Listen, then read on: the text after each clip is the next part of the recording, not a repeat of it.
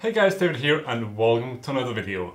Now before me you can see a huge selection of all laser cut parts. Now what could that be? Now um, you of course already saw the thumbnail and the title so you know more than I do at this point uh, but before we get started assembling all of these laser cut pieces, I want to give a big thanks to Endurance Lasers for sponsoring this video. I used their 10 watt plus laser to cut all of these pieces and it was a real treat. Uh, with the air assist and the very high power output of this laser, uh, it was no problem cutting the 3mm plywood on just my simple converter 3D printer. No like big fancy CO2 laser needed, uh, just like fairly inexpensive conversion. To find out more about endurance lasers, make sure to check them out at the link below. Now, what I'm building here is a hurdy-gurdy and uh, most of you probably have no idea what that is, and I don't really blame you. It's a very rare instrument. There are some fun YouTube channels that uh, are centered around this instrument, but mostly it is only very niche. Uh, there are some uh, bands that also utilize this. Uh, my One of my uh, favorite bands, Eluveitie,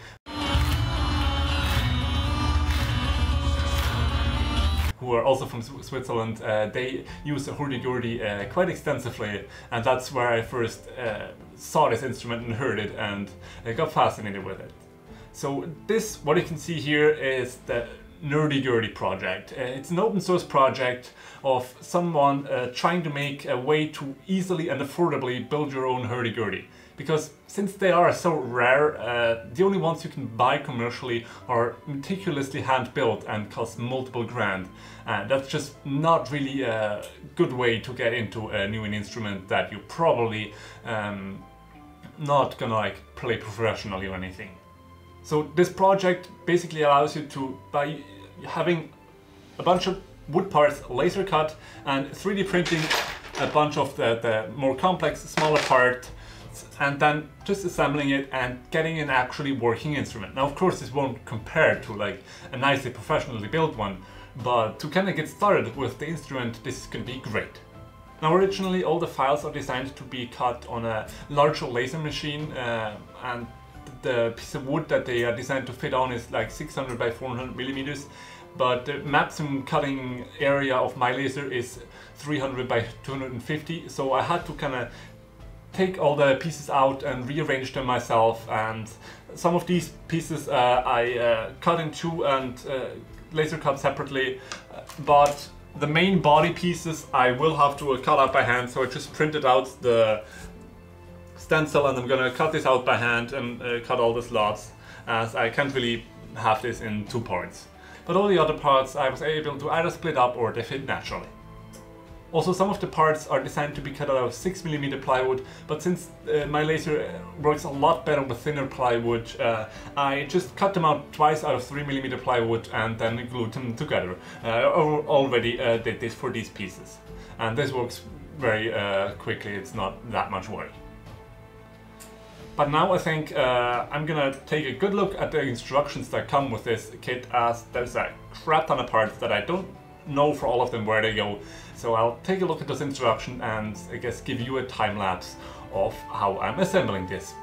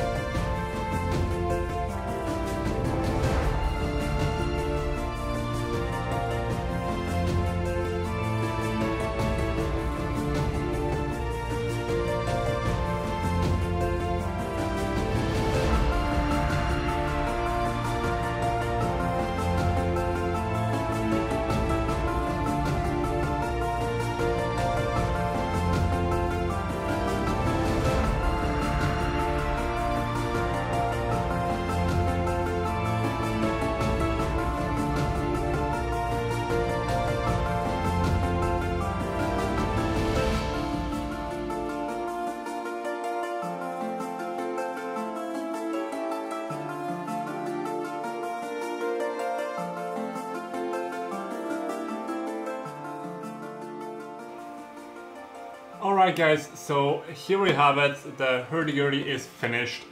And I have to tell you, I was expecting this to be like a couple evenings worth of assembling and then I'll be done with it, but this took way longer than I ever expected. There's a crap ton of pieces and they all have to be glued together and then sanded and painted and of course you could leave away the whole sanding and painting thing but I wanted to look good in the end uh, so I went to the trouble and painted all the surfaces even inside and I sanded and painted and lacquered all the outside uh, surfaces so that it has this uh, quite nice uh, black uniform appearance. I also added a bit of a design here on the top cover, just some Celtic knots uh, thought that fit quite well. Um, you can also see that the holes uh, on the top plate I have uh, changed up the files a little bit. Uh, there was like a circuit board design which fit the whole nerdy-gurdy uh, kind of uh, aesthetic, but I was going for more traditional aesthetic, so I decided to put some Celtic knots there as well. So I just modified the vector file a little bit. I also ended up being able to uh, get the top and the bottom plate laser cut as well instead of cutting it out by hand. Um, friend of mine was uh, setting up his uh, big laser uh, cutter and I was able to um, steal some time on that. Apart from that, uh, I didn't uh, film it as much, but the wheel itself is not just the laser cut pieces, but then afterwards it's nicely sanded round um, by uh, put like a threaded rod through it uh, and put it in a drill so that it, I was able to spin it and then I could sand it nicely round and then I put a strip of veneer wood around it and this just creates a nice even uh, and smooth surface. I had some like edge binding what I actually used to uh, bind the edges of these tables left over so that's what I used. Uh, in the guide they went through a whole big trouble of uh, bending a piece of thin wood that they had to shave down but I found that this works extremely well. I was able to just iron it on and it sticks perfectly fine and was a very good result. Then after I had everything assembled with a threaded rod in the middle with all the bearings uh, then I put a drill on the end and used a chisel to chew up the wheel fully um, I, it's not perfect uh, nothing about this instrument came out perfect. After all, it's laser cut plywood and not like actual nice instrument wood. But uh, it's pretty decent. The strings you can see on here are um, some violin strings here for the melody strings. Now, as you can see, one of them already is kind of loose. That's because it broke. You, uh, the guide called for viola strings, uh, which are a bit longer and therefore require less tension uh, to be at the same pitch uh, these violin strings uh, are not ideal. I first tuned uh, these up to uh, C, middle C. Um, at that uh, pitch it worked fine, but they're actually supposed to be, uh, if you go for historical accuracy, a G, and while trying to tune it up to a G, uh, one of them snapped, so I didn't bother with the other one. I might replace this at some point with some viola strings, then it should be fine with the tension. Now, also the tension did kind of warp the whole uh, thing. Uh, first of all, it's kind of wobbly on the table, so like the bottom must have warped. But what's much, much more noticeable is the back here, it uh, kind of pulled itself up since there's so much tension on the bridge. Now part of that is probably because I'm using the wrong strings and therefore there's more tension, but it's also just, it's 3mm plywood. Uh, you can't expect that to be super, super strong. Now for the other string here, um, this is a cello string. Uh, luckily my mom plays the cello and I was able to use one of her old strings, uh, otherwise this would have been probably uh, the most expensive part of this whole project. And on the other uh, side I also bought uh, violin string, um, which ended up not being long enough uh, since it's not a viol string. B but uh, the guide also said you could use a tennis racket string, so I thought, okay, that's pretty loose. So I actually used an old harp string um, for uh, most of you probably don't have old harp strings lying around, so a tennis racket string might be easier. But for me, uh, I had a whole bunch of old harp strings lying around, so I used one that uh, seemed about right uh, thickness-wise uh, compared to what uh, the guide showed. This um, string here, the one that's using the harp string, is the trumpet string. And what makes the trumpeting sound is that there's this little lever here um, that is just kind of loose in there. And this, this string here, uh, which is tangent with this tuning knob, knob here, kind of pulls the string up a little bit, which uh, just uh, varies the pressure uh, of uh, this part here. And if I turn the wheel this way around, it kind of lifts the string a bit, uh, creates vibration, and this piece here vibrates on the body. And this creates a very loud and intense trumpeting sound. Um, if this is not desired, um, you can of course either loosen this here or uh, completely deactivate the string by putting it out on this uh, other, uh, like these holders. All these strings can be um, put up on like uh, little pegs so they're not touching the wheel and when you want this string to sound you just pull it down onto the wheel. And that's how you kind of uh, control the sound. This hurdy-gurdy has four strings but uh, basically the sky is the limit and some of the bigger ones they have a lot more strings and then you can change the sound up a lot by moving different strings around. Overall, I want to give a big thanks to the Nerdy Gurdy uh, team or person, or I don't know how many people are working on it. This kit is, well, these instructions are made extremely well. You can buy it as a kit, I don't know if it's available at the moment, but like I basically cut out all the files like it said in the instructions. I put them together and everything fit. Uh, there was only very minimal, just like the internal rod was not described too well. Uh, I had to do some guesswork there. Uh, but other than that, everything fits together perfectly. It's very adjustable. You can all the strings you can adjust the height here or the side to side movement here to get the perfect tension onto the wheel. Um, like the keys themselves, they work beautifully. And if we take a look inside the key box here, you can see that one of the strings is not really uh, in there, just kind of taped it there.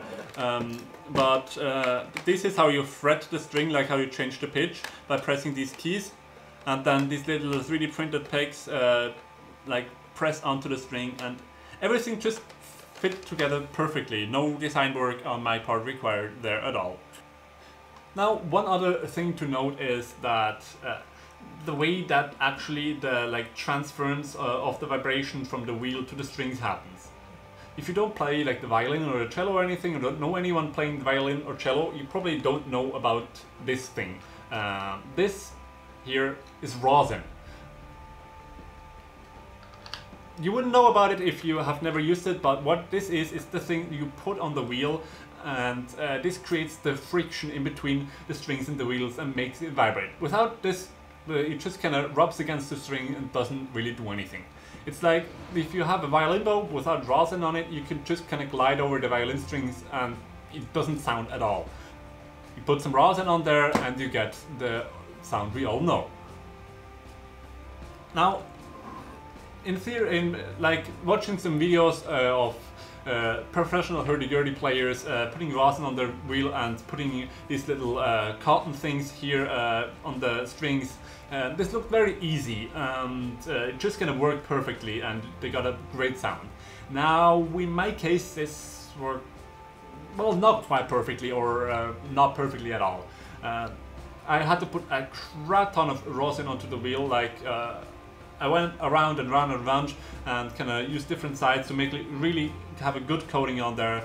And then the felt was is just a practice thing. Um, I, I, like the, after a couple times it worked already a lot better, but um, I got it to sound like really quite good a couple of times, but then very quickly it started to kind of lose its sound uh, again. Part of that might be the rosin rubbing off, part of it, it might be the felt kind of moving to a not ideal position, or the entire instrument shifting a bit. So this won't be an instrument that I play a whole bunch, but to be honest, I probably wasn't going to be a super hurdy-gurdy player uh, anyways. This is more of a fun project, uh, kind of experiment with it, maybe learn a song on it, and then have it as a cool display item. So with that said and done, I want to thank you guys for watching. Uh, make sure to hit the like button if you enjoyed this video. Uh, leave a comment down below if you have any suggestions, questions, anything like that. Also, make sure to be subscribed so you don't miss any future videos about whatever I'm doing next. And now, on to the tone demo. Alright, so first, uh, just the melody string.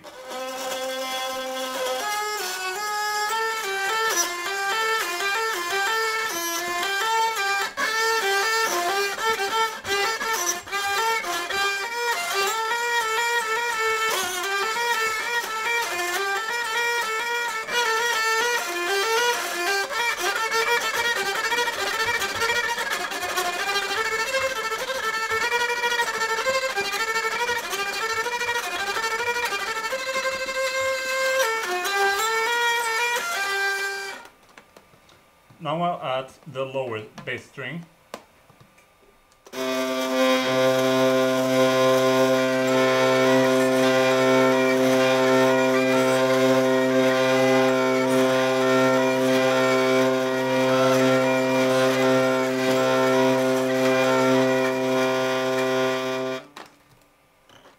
Now just the bass string on itself.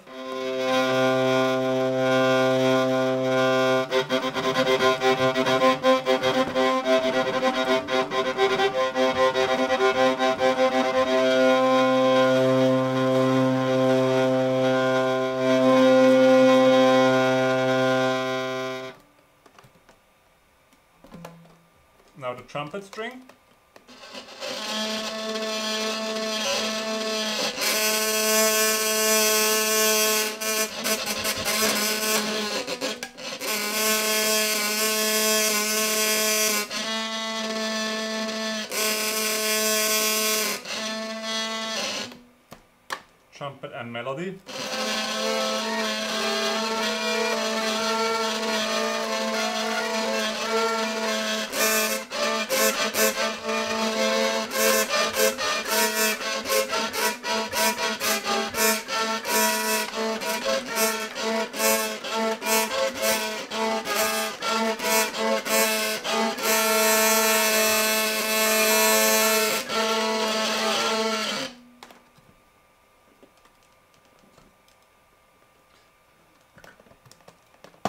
Now all the strings.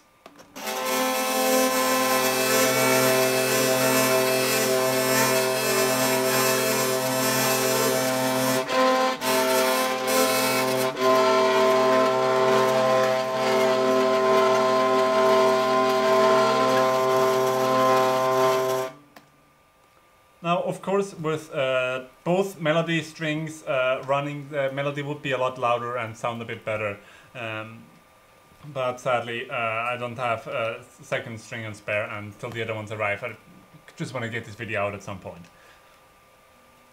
So, please don't judge me when I'm playing. Uh, I know this was not melodical at all, but I just want to kind of give you an uh, idea of what it sounds like, and it's probably like dropped out of tune just while playing. Can see that it's almost uh, coming apart uh, back here, so I'll uh, detension the strings again uh, to kind of save the shape a little bit longer.